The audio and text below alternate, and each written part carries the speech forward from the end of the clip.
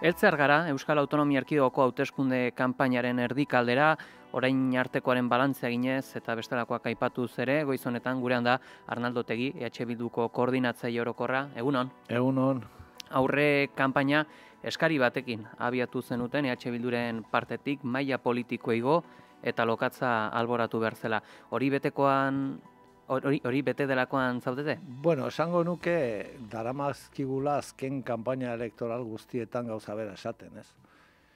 E, alde batetik, errespetoagatik, e, jendeak errespetoa merezi duelako, eta tratatua behar da errespetoarekin, eta bigarrenik, kanpaina elektoralak eta ekinbide politikoa balio behar du bakoitzak bere proposamenak egiteko, ez? Badira ja kanpaina desente, nun Euskal Herria bilduk eta ezker independentista bere proposamenak eta bere proposamenaren inguruan hitz egiten du, eta beste guztiak gure proposamenaren inguruan hitz egiten dute.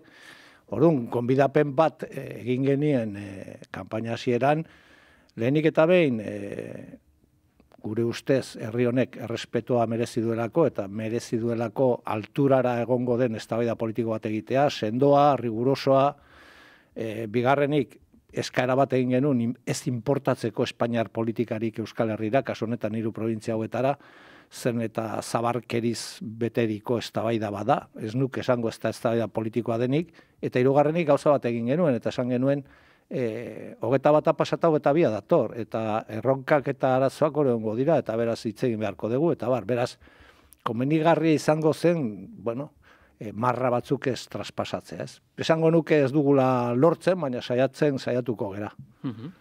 Ezagutu den azkenetako inkestetako bat, ziz ikerketa etxearenak diona da, EH Bildu eta EAJaren arteko errenta euneko bat koma seikoa izango bai. dela, horre EH Bildu horretik. Nolako balorazio egiten duzu inkesta honetaz eta bestelakoetaz? Bueno, nik, nik beti inkestekin, beti esaten dio jendeari zurtzia mantendu behar dela, ez? Ze, zein da aldea momentu honetan? Nik uste badago alde politiko bat eta gero inkeste etxeetan badago alde profesional bat e, momentu honetan, ez? Alde politikoa da momentu honetan mundu guztiak bat datorrela gauza batean eta da hiru probintzietako hauteskunde hauetan aukera dagoela ezker independentistak irabazteko. Gero ez da gertatuko da ero ez, baina e, azken berrogoi urtetako e, hauteskundekin alderatuta garbi dago badagoela ezberdintasun politiko nabarmen bat. Ezker independentista badator arrakastatxua den ziklo elektoral batetik, eta mundu guztiak pentsatzen du aukera dagola irabazteko, ez? Eta inkeste etxek badute arazo bat orain, eta da, bueno, profesionalki ez dutela ere bere burua saldu nahi, eta nola ere, zabarkeriz erabili enkuestak jendearen botoa nola ere baldintzatzeko, eta jada, ba, egunera eltzen garen bitartean gehiago bueno, nik uste dut eh, plantatzen dutela nola ere egiazko, ero egiazki egon daiteken panorama, ez? Nik alatare jendari esaten diogu sirimidia gara, e, gu poliki guaz, urruti guazelako guaz poliki, e, jarraitu behar da lanean, hemen partidua dago, partidua ez dago ez irabazita ez galduta, hor gaude eta lanean jarraitu behar dugu, eta gurean lana da jendearekin lan egitea ez. Mhm.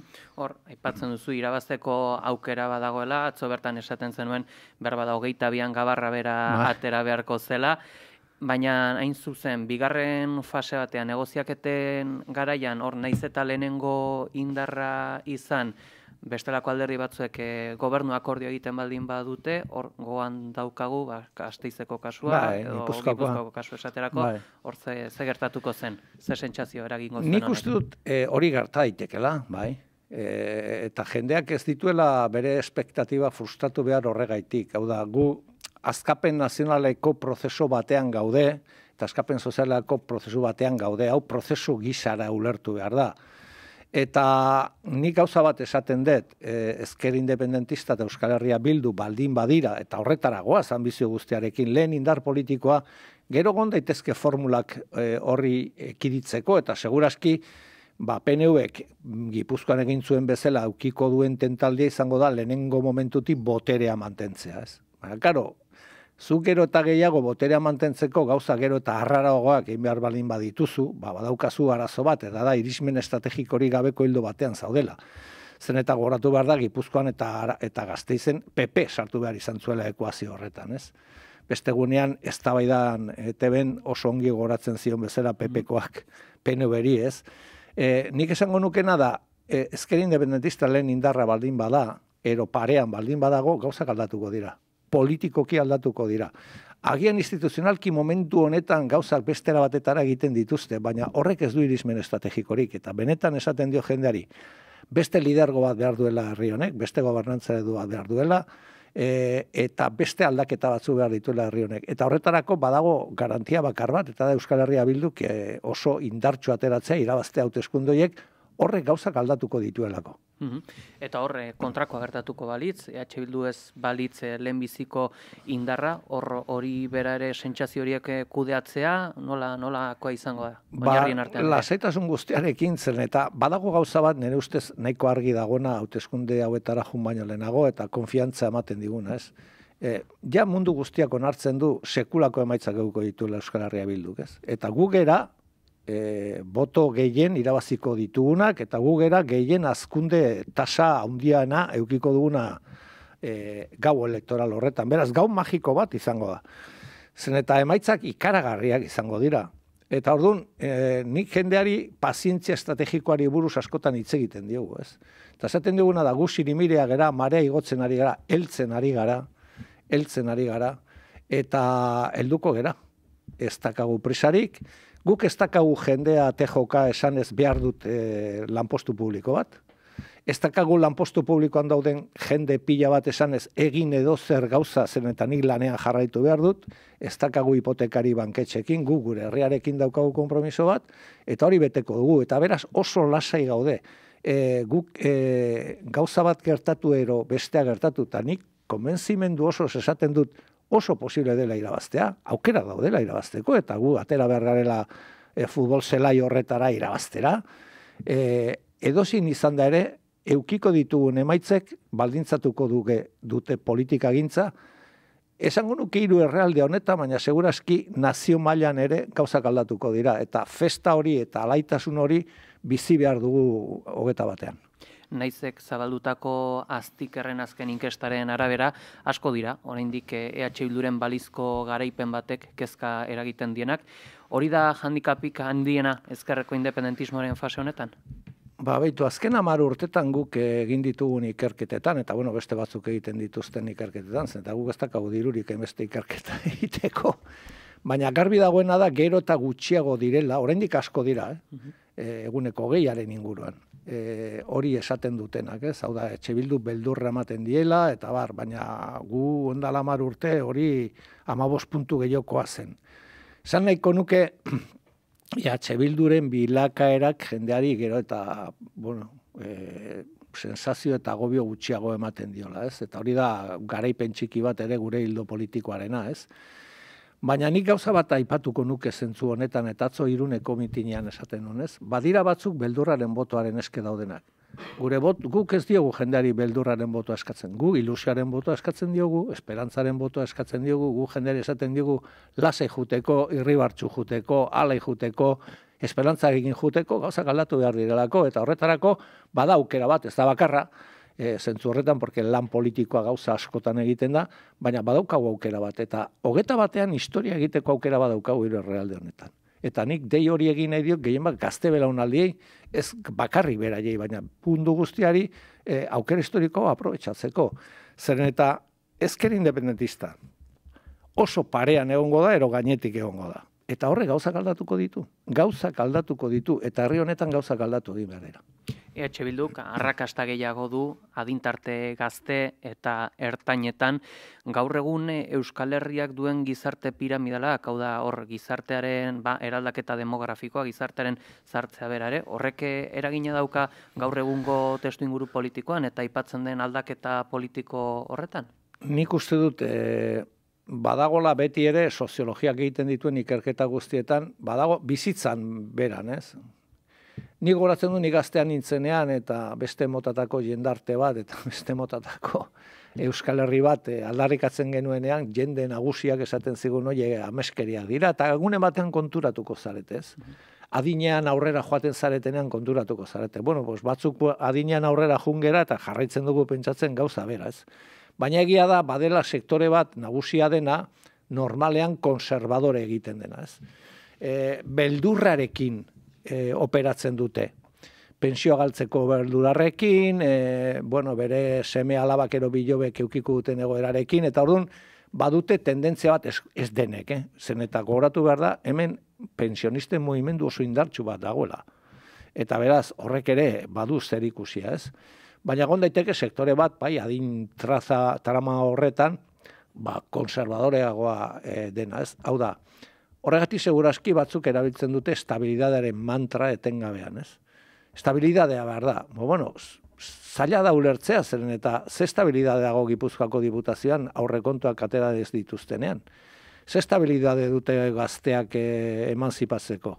Ze estabilidade dute bere bizitza egiteko. Ze estabilidade dute langileak eh, osakidetzan. Ez daude estabilidadean. Beraiek konservadorea den autu baten eta beldurraren autua egiten dute, ez? Eta nik gauza bat esango nuke metafora bat erabiliz, ez? itxasontzi batek ziurtasun osoa du amarratua dagoenea portuan. Itxasontziak ez dira egiten amarratuak egoteko portuan. Itxasontziak egiten dira e, itxasoan ibiltzeko. Nik herri buruz gauza bera esango nuke. E, konservadore portu batean egotea oso ongi dago, baina hori da estatikoki egotea, betiko tokian egotea. Eta herri honek ez zun bere kolektiboki iraiki, bere nortasun nazionala hori egiteko, batzutan egin behar da, eta termino historikoetan batzutan behar da babesa, baina herri honek behar du itxasora atera eta benetako errepublika berdintzale bat egitea eta askatasuna lortzea eta beste jendarte mota bat e, osatzea. Ez? Beraz, e, ni nago momentu honetan Euskal Herria bilduk emezortzitik irurogeita bosteko tramo horretan irabazlea da. Eta falta zaigu azken tramoa. Eta hori ere torriko da, mm. denborarekin. EH Bildutik denbora luzean daramazazua aipatzen ziklo politiko berri bat hasiko zela, gaur egun bertan gaudela dagoeneko aldaketa horretan, ziklo horretan, ziklo aldaketa horren amaiera ikusia duzue? Ba, guk esaten duguna da, aspaldi esaten genuen, ez? E, bo, hemen e, Euskal Herrian, Euskal Herri osoan, ez? Bueno, e, jendarteak dituen balore eta printzipioa gero eta gehiago antza dute ezker independentistak e, defendatzen dituen arekin, ez? gero guretzat badago bigarren fenomeno bat beti ere aipatu egiten duguna, ez? Omen periferia geografikoan Euskal Herrian e, aldaketa gero eta zantzu handiagoak ditu, ez? Oionen irabazten dugu, oionen gobernatzen dugu, gauza bera gertatzen da Lapurdi Basen Afarra eta Siberuan igoera izugarriarekin. Beraz, nazio mailan nola baitere berritzen ari da proiektu nazionala, ez? Eta hori oso oso pozgarria da ziklo politikoaren aldaketa zer esan nahi du. Ba, jendartea gero eta gehiago bat egiten dula gure balore eta printzipioekin. Eta aldaketa Euskal Herri luze zabalean ematen ari dela. Eta gure estatus politikoaren eztabaida ez dela bakarrik ematen hiru provintzietan, Nafarroa garaian ere ematen da, eta Lapurri basen Nafarroa eta Siberuan ere. Bueno, guzti hori hor dago. Hori nun bukatu behar da. Nik esango nuke lehenik eta behin bukatu behar da. Lehenengo fase batean mm, e, estatus politikoaren inguruko eztabaidan eta urrats kualitatibo batean. Euskal Herri osoan. Bai? Eta uste dut hori izan behar dela gure lehentasunezko bat. Eta bigarrenik, gu badaukagu sektore sozial zabal bat independentista dena. Edozin izan dako juntura. Eta badagu sektore zabal sozial bat esaten duna, naziometroako songi jasotzen du hau. Esaten duna, depende nolakoa den e, egoera ni independentziaren aldeko apustu egin behar dut. Nik uste dut guk antolatu behar dugula eta irismen estrategikoa eman nek bere baitan independentista diren sektore garbi hoiei eta konbentzitu behar ditugu besteak, baita ere kontra dauden batzuk ere. Eta hori nire ustez eginen da, mantetzen ari gara hildo politikoa jorratuz. Bestea beste, gobernu fase batetik pasatuz jendeak konprobatu behar du, eta hori orain arte egin du udaletan, independentista gobernatzen dutenean, hobeki bizi duela eta bere eskubideak bermatua dituela. Eta baita ere nazio identidadea hobeto gordetzen dela. Plurala dela, transversala dela, eta bar. Bi fasoiek aurre ikusten ditut, hirugarren batetara heltzeko eta hirugarrena izango da herri honek erabakitzen dula zer izan nahi du etorkizunean. Beraz horregatik esaten dugu presarik ez da kagula. Faseak nola baitere jun behar direlako garatzen ez. Hmm. Segituan, aipatuko dugu, hor presa ez izatearen elementu hori, baina lehenbizi aipatu nahiko nuke independentzia, bueno, kontzeptuei dago kionez, bai.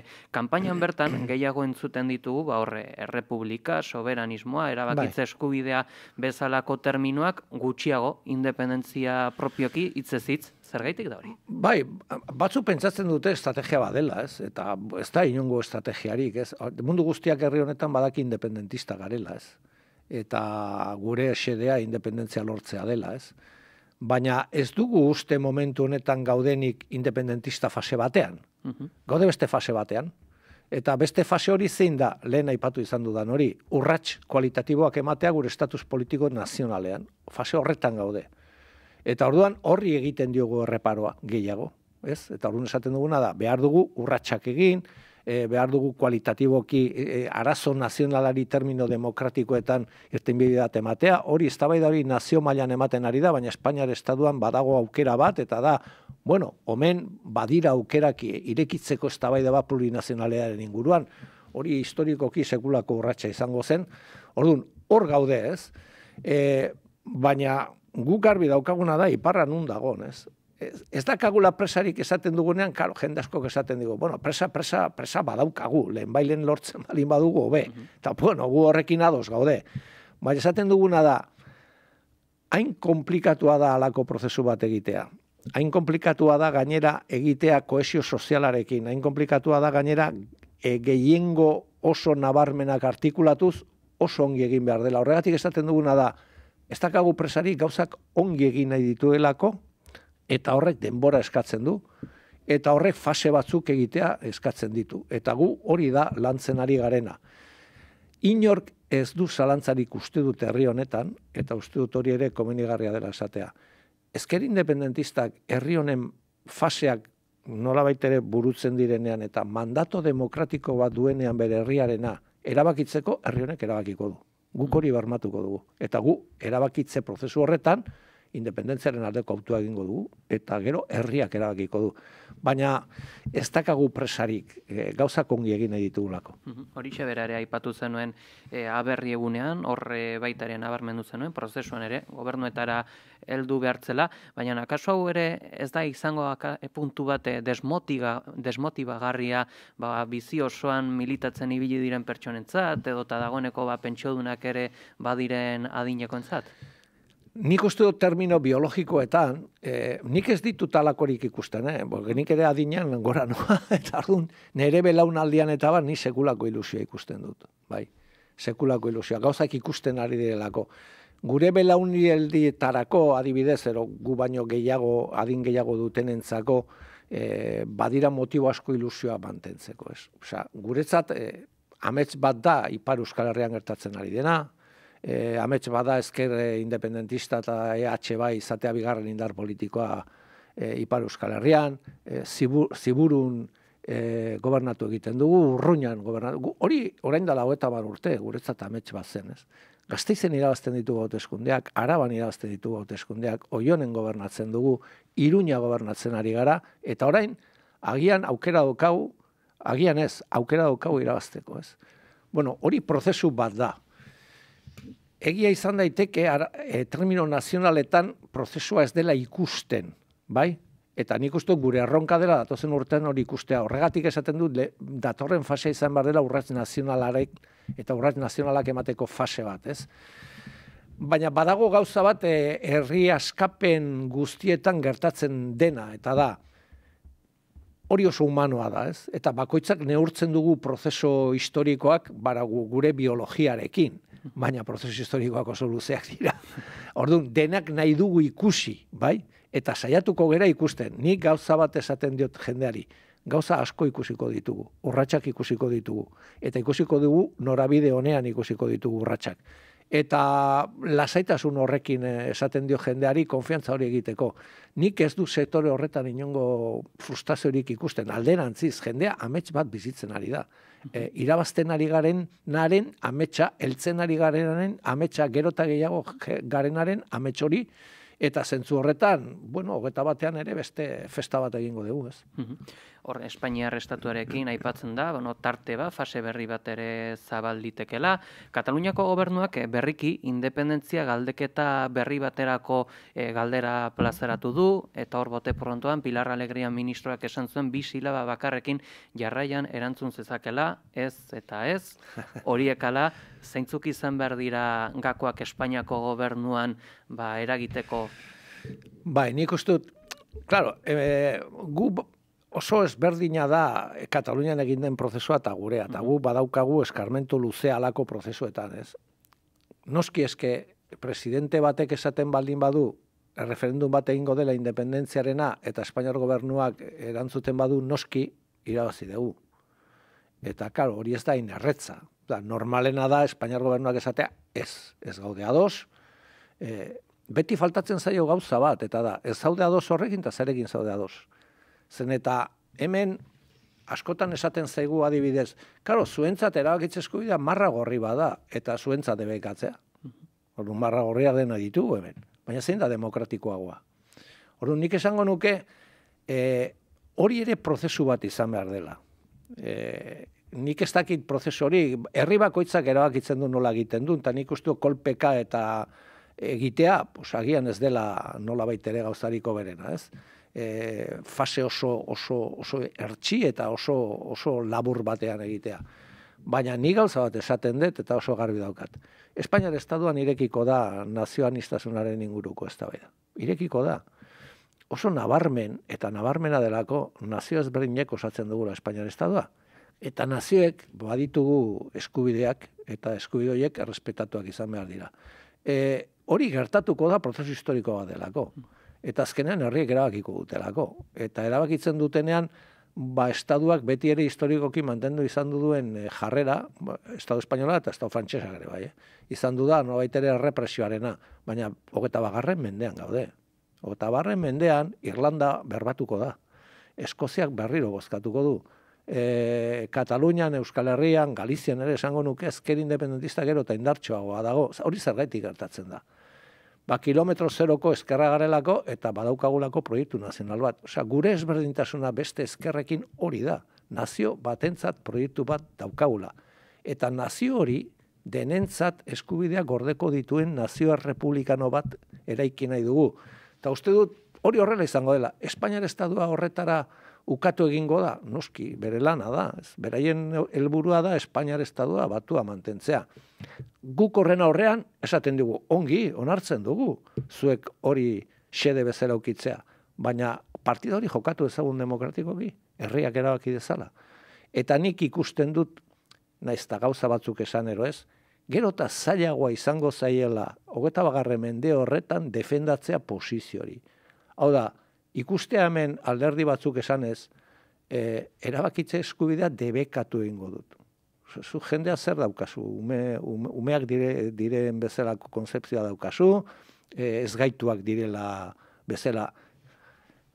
Bueltatu gaitezen pandemiara, e, e, e, Euskaldunak ezin genuen ez da neurriak hartu, edo zein neurri hartu, hori Madrien hartzen zen, orduan, e, benetan pentsatzen dugu, arduratsua dela pentsatzea herri honen etorkizuna Madrid eta Parisen eskukitza, guretzat ez. Baina ez dakagu horretan e, tonoa igo beharrik eta errebindikatu beharrik. Esaten diguna da, herri honek mandatu demokratiko bat ematen digunean, herri honek erabakiko du. Erabakiko du. Hori da guk ematen digun ziurtasuna. Mm pixate aipatu neko nuke ere, hor akordioen baitan, e, hor aipagai e, izan dute kanpainan e, Iruñeko udaleko akordioa, horre alderdi sozialista gakoa izan zen, zentzu honetan zerk ezberdintzen ditu PSN eta PSE. Hori galdera oso ona da. Hori handu galdetu behar zaio. Astelenean dator. Astelenean dator, bosu galdetu josu mesedez nere partez. Zen eta gainera e, gauza bat egiten du niretzat harrigarria dena, eta da e, bere gobernuaren teiatuari harria, bota. Espainiar estaduko gobernuari. Ez. Zen eta berak esaten du, e, EH Bildurekin ez dut e, inoiz e, gobernatuko. E, ongi. E, hori da bere posizia. Ba, eta zergaitik, eta ateratzen du betiko komodina. Baina horrek orduan zer esan nahi du. Zuk termino etiko moraletan Pedro Sánchez, Rodríguez Zapatero, Txibite, eta zuen alkateek e, gurekin egin dituzten aurrekontuen inguruko akordioetan irunen, eibarren, e, zu baino kalitate etiko gutxiagokoak direla. Hau da, eta gainera egiten du bigarren gauza bat, eta da, e, erosten du eskuin muturraren marko mentala. Hau da, bere gobernuari egiten dio kalte. Orduan, ez daki, ni galdetuko niokena da, zu alderri berekoa zarete, o be, alde, zu badakazu hemen eh, korrente bat ezberdina dena, Ze, zeinekin zaude ados, Garzia Pajerekin, e, Lanbanekin, e, zein da zure alderri sozialista. Nik uste dut berak baduela arazo larri bat. Eta da, nolan gero eta zailago du sustengatzea egiten duena aliantzan penoberekin, ba, ateratzen du betiko komodina eta horrek ez du funtzionatuko. Mm, horrek ez du irismen estrategikorik. On, alderak eta honetan ere, gakoa izan daiteke, Nafarroan e, egomonia izan duen alderdia, UPN egun, ba, badirudia palago dela, horrek ere bidea erraztu dezake eta kaso Euskal Autonomia Erkideorako EAJaren hegemonian eragin beharko zen? Ez dakit, nik, nik uste dut, e, ni, ni, bai aipamena egingo nioke Nafarroa garaian gertatzen den gauza bati, ez? Neretzat, e, askotan kanpaina zarat asko dago eta eta badira elementu batzuk, batzutan komenigarriak direnak e, mai gainean jartzea, ez? Ba, alde batetik gertatu dena Iruñako udalean. E, Iruñako udalean gertatu dena da gauza niretzat oso oso garrantzizkoa termino politikoetan. Azken finean, PSNek, nola baitere, bueno, aktiboki sustengatu duelako EH Bilduko gobernu bat e, iruñan. Baina bada beste gauza bat, naizta ez atera, niretzat e, irismen estrategikero, pazientzia estrategikoarekin aztertu beharko genuken, eta da, UPN-en, egonda ez da bat, UPN Euskaraz jartzea, ero ez sigla bezala. Bueno, hori ematen dut, ondakeri badela. Ba, bazuten arazo bat, eta da, Nafartaren herri batasuna jarri behar zutela, eta segurazki horrek atzera bota duela. Baina horrek esan nahi du agian badaudela jende batzuk e, sektore horretan hasi direna pentsatzen euskara eta euskararen kontra eta euskaldunen kontra eta euskaldun sentimentuen kontra ezin daitekela gobernatu Nafarroa garaian. Eta hori niretzat, bueno, agian irekitzen den eztabaida bat izan daiteke. E, ez dakit horrela, horrela izango den ero ez, baina horrek esan nahi du eh, gauza batzuk mobitzen hasi direla. Apalki baldin badira ere, ez? PNVren hegemoniaren inguruan, hiru probintzietan, esango nuke, zen eta entzun dut e, Pradales jauna esanez, beraiek irabazi zituztela hauteskunde municipalak, ez, hauteskunde municipalak guk irabazi genituen lau herrialdea kontuan hartzen baldin baditu, suposatzen dut beraren zaren Nafarroa, bere Euskadiren parte ere badela, ez? Nik esango nuke hemen badagola gauza bat gertatuko dena hiru probintzietan hauteskundetan eta da gehiengo oso oso oso altu batek abertzale bozkatuko du. Mhm. Baina nagarmenki, eguneko iruro eta marraren inguruan. Eta badago gehiengo bat apalagoa ezkerrera joko duna. Orduan, gure proposamen iraultzailea da, alderdi guztiek onartuko dugu hori, mandatu hori. Zeta batzuk oso urduri ikusten ditu demokrazia parlamentaria defendatzen. Baina demokrazia parlamentarietik aratago badago herri borondate bat. Eta herri honetan herri borondatea abertzalea da eta ezkerrekoa da. Eta guk egiten ari garen e, hausnarketa eta proposamena da hegemonia lehiatik aratago guazen formulatzera kolaborazio gobernuak eta esparruak egindako edo emandako mandatu hori aurre egiteko. Eta beraz, egin behar da? Ba, egin behar, adibidez, estatus politikoan horrek nola baitere euki beharko du ba, nola baiteko ondorio bat. Hau da, egunek parlamentoan eguko iru eta marra esaten badu gu nazio garela hori onartu beharko da, ez? E, nahi balin badu kompetentzia buru jabe gehiago, pues onartu beharko da, eta erabaki nahi balin badu, onartu beharko da. Bale, gero ikusiko ditugu formula zeintzu diren, baina ondorioak ikusi ditu, eta ezkerreko politikaren aldeko gehiengoa balin badago, ba beste politika fiskal bat egin beharko da, ez? Eta beste motatako neurriak hartu beharko dira, politika industrialean, osakidetzan, eta bat. Hori da peiok osongi ordezkatzen duen momentu honetan proiektua hiru provintzia honetarako, ez? Hau da, aldaketa. Mhm. Azkenik bukatzeko aipatu nahiko nuke Euskal Gizarteak egun duen eh, kezketako bat, hor osakidetzaren inguruan, ardurak hartzeko aldarrikapen egin zuen peio txandianok berriki. Akaso, heldu den lege gintzaldian osakidetzaren arduren baitako ikerketa batzorde bat egin beharko zen? Ez dakit, e, nik uste dut e, beste gunean peiok ere esantzun, ez? Bale, ados, ikamikak ez dira gon behar, baina ardura politikoak beharko dira. Hau da, e, hemen badago gauza bat eta galdera bat jendeak bere buruari beharko liokena bozkatu baino lehenago, ez? Eta da, zergaitik pakak eta e, osakidetzan e, alako neurriak hartu dituzten hauek, eta prekaritatea mantundu dituztena palantillak oso eguneko altuan, orain zerraitik ingute gauza ezberdin bat. Eske, bairaiek dukaten albutasuna kanpaina horretan hori da. Zuk zerraitik ingo duzu orain, orain arte egin ez duzuna. Beste gunean, pesoeko, porque, bueno, orain ematen du peso eta PNV ez daudela gobernu berean. Gobernu berean daude. Biak dauzkate ardurak. Ordu, nik uste jendea errespetuz tratatu behar dela eta bere buruari egiten dion galdera da.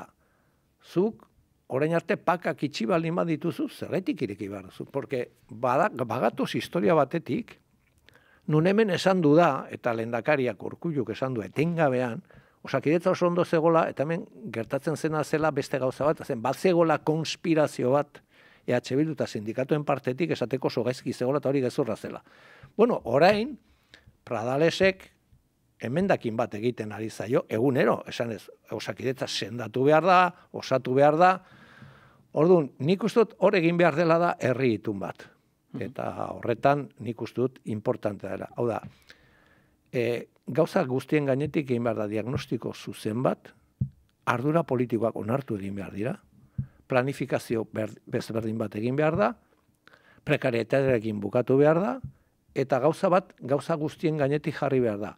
Jendearen osasuna ez da negozio espazio bat. Jendearen osasuna administrazio publikoa zendu behar gauza bada eta hortik abiatu langileekin, sindikatuekin eta agente guztiekin berriro ere altxatzeko osakidetzaz. Hmm. Baixetasun guzti horiekin gaditzen gara, Arnaldo Tegi, eskerrik asko goizonetan gurera gertu deratzegatik. Zuei, mi esker.